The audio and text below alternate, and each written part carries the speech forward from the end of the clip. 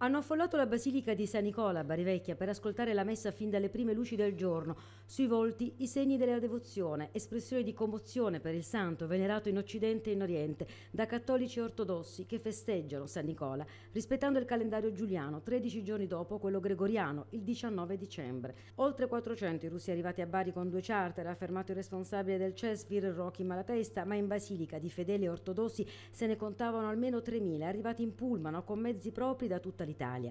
Dopo la prima giornata dedicata ai Vespri che si sono tenuti nella chiesa russa, i pellegrini si sono ritrovati in basilica per la celebrazione delle messe. Tra loro si scorgono tantissime donne, giovanissime, mamme con i propri bimbi, avvicinati anche per un solo attimo in cripta davanti alla tomba del santo di Mira.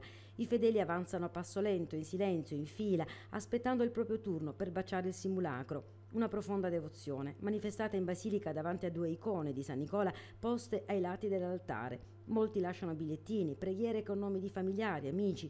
Ad officiare le celebrazioni liturgiche il metropolita Murmansk insieme con il rettore della chiesa russa Andrei Boitsov. Un flusso continuo, senza sosta, per i pellegrini che in questi due giorni hanno potuto visitare anche alcune delle bellezze pugliesi, Polignano, Alberobello, le grotte di Castellana.